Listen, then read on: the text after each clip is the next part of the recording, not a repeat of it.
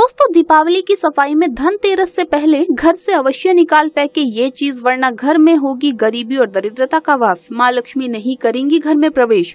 साल भर रहेगी धन की कमी। नमस्कार दोस्तों, कैसे हैं आप सब? दोस्तों, खुशियों और रोशनी के इस त्योहार दीपावली के दिन माँ लक्ष्मी का विशेष रूप से पूजन किया जाता है। माना जाता है, दीपावली पर माँ लक्ष्मी अपने भक्तों को आशीर्वाद देने उनके घर आती है।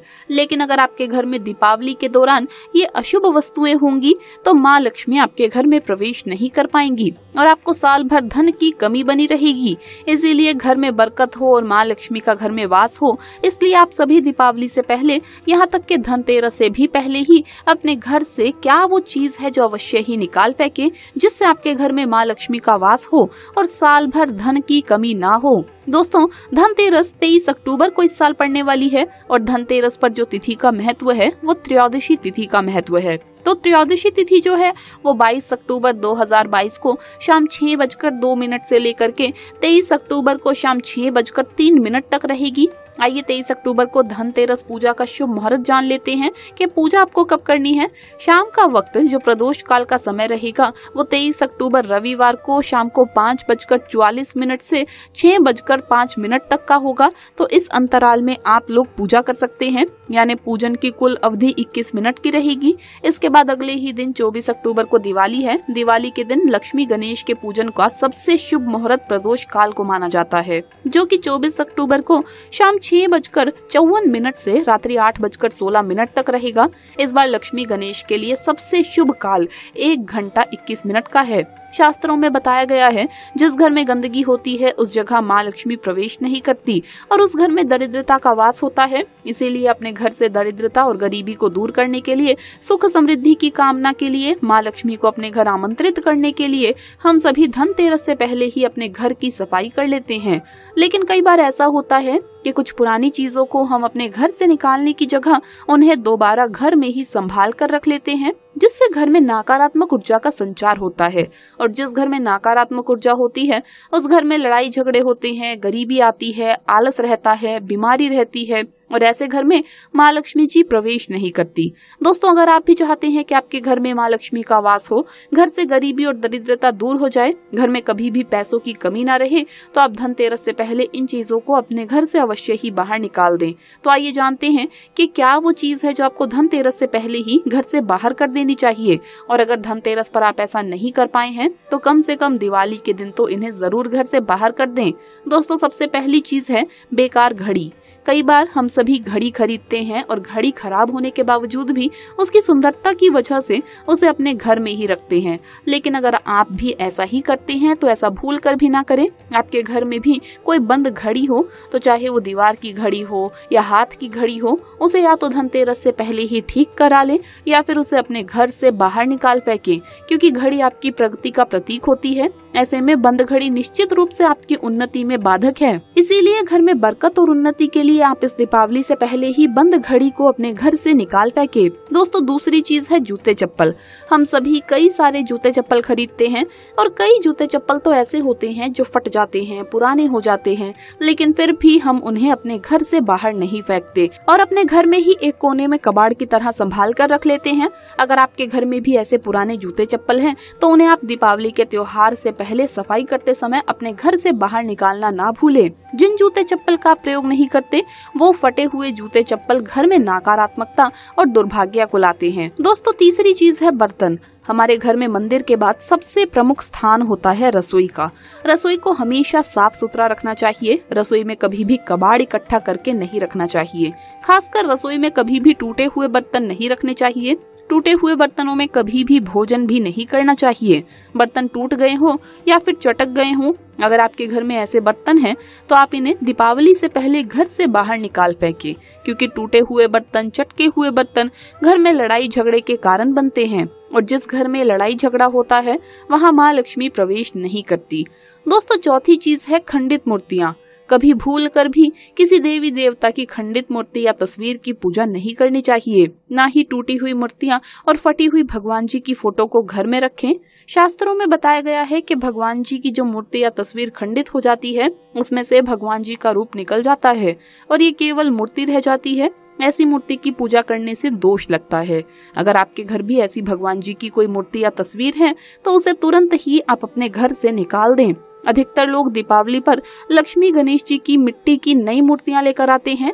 लेकिन जो पुरानी मूर्तियाँ हैं, उन्हें विसर्जित करने के स्थान पर अपने घर पर ही संभाल कर रख लेते हैं। अगर आपने भी ऐसा कर रखा है तो भगवान जी की उन सभी मूर्तियों को आप इस दीपावली से पहले ही अपने घर से बाहर निकाल दें। आप भगवान की इन तस्वीरों या मूर्तियों को या तो शुद्ध बहते जल में विसर्जित कराएँ, या फिर किसी पवित्र स्थान पर रख दें। माना जाता है, घर में अगर खंडित मूर्तियाँ या तस्वीर हो तो इससे घर में दुर्भाग्य आता है और दोष लगता है, और जीवन में कई तरह की परेशानियों का सामना करना पड़ता है। साथ ही दीपावली की पूजा में मंदिर की अच्छे से सफ़ाई करके ही पूजा करें, तभी देवी लक्ष्मी की असीम कृपा आपको मिल पाएगी। दोस्तों, अगली चीज़ है खराब इलेक्ट्रॉनिक सामान। अक्सर लोग टीवी, सीडी प्लेयर, फ्रिज आदि खराब होने के बाद भी उसे अपने घर से बाहर नहीं फेंकते। वो उसे घर के किसी कोने में रख देते हैं, मगर वास्तु के अनुसार इसे अशुभ माना जाता है। इससे परिवार के सदस्यों की सेहत पर बुरा असर होता है, साथ ही जीवन में तरक्की के रास्तों में भी रुकावट का सामना करना पड़ता है। आपके घर में भी कोई भी छोटा, बड़ा, खराब इलेक्ट्रॉनिक का सामान हो तो उसे दीपावली से पहले आप सही करा लें या फिर उसे घर से निकाल फेंके दोस्तों, अगली चीज़ है टूटा हुआ फर्नीचर। अगर आपके घर में कोई फर्नीचर टूट गया है तो उसकी दीपावली से पहले मरम्मत करा लें। अगर ठीक ना हो सके तो उसे घर से बाहर निकाल दे। वैवाहिक जीवन की सुख शांति के लिए ज़रूरी है कि पति पत्नी का पलंग टूटा हुआ बिल्कुल भी ना हो। यदि पलंग ठीक नहीं है तो पति पत्नी के वैवाहिक जीवन में परेशानियाँ आने की आशंका बढ़ जाती है। इसीलिए इस दीपावली से पहले आप अपने घर के फर्नीचर को ठीक करा लें। यदि ठीक नहीं करा सकते हैं तो उसे अवश्य ही घर से निकाल फेंके नहीं तो पारिवारिक जीवन में कलह और अशांति बनी रहती है। और जहाँ अशांति और कलह होती है, वहाँ माँ लक्ष्मी का वास नहीं होता।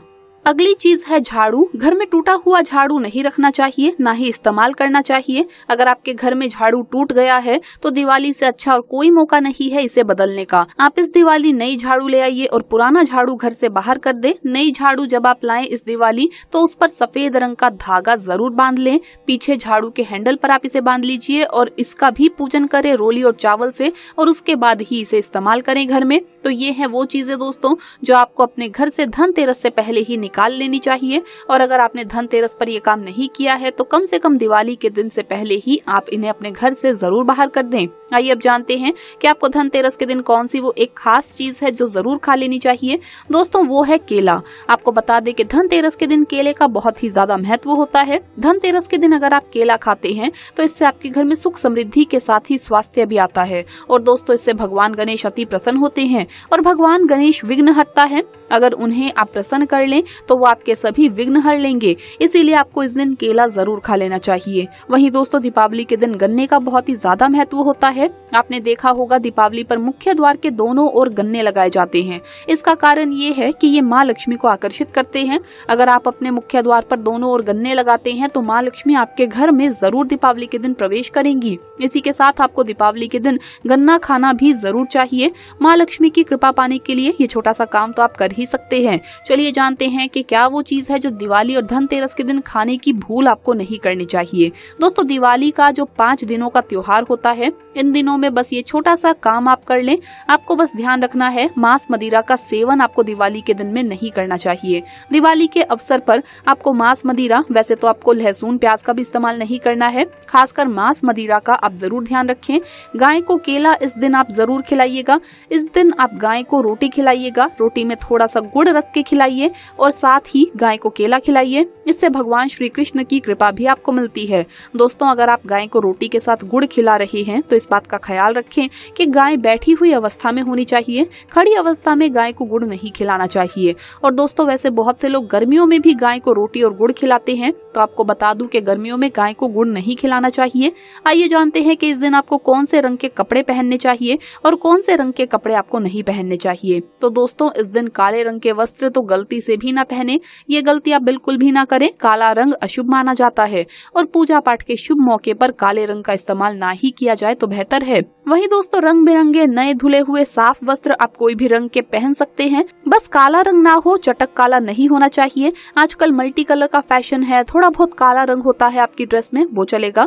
लेकिन पूरी तरह से काला रंग है तो वो आपको नहीं पहनना है कपड़ों में। इसके अलावा रंग बिरंगे कपड़े पहनिए और इस बात का ख्याल रखिए कि नए धुले हुए साफ़ सुथरे वस्त्र होने चाहिए और कपड़े आपके कहीं से भी फटे हुए हैं या थोड़ी बहुत सिलाई उनकी उधड़ी हुई है तो उन्हें ठीक करवा के आप पहनिए। तो इस दिन आपको साफ़ और शुद्ध वस्त्र ही पहनने हैं।